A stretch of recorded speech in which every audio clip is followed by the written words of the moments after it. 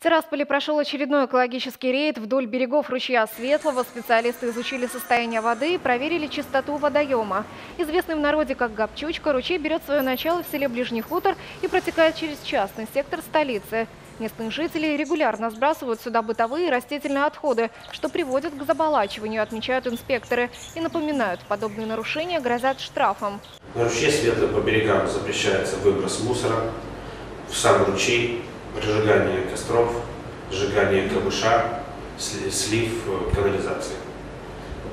Ответственность предусмотрена за данное нарушение статьей 6.22 Административного кодекса Приднестровской Молдавской Республики, а также правилам благоустройства города и других населенных пунктов.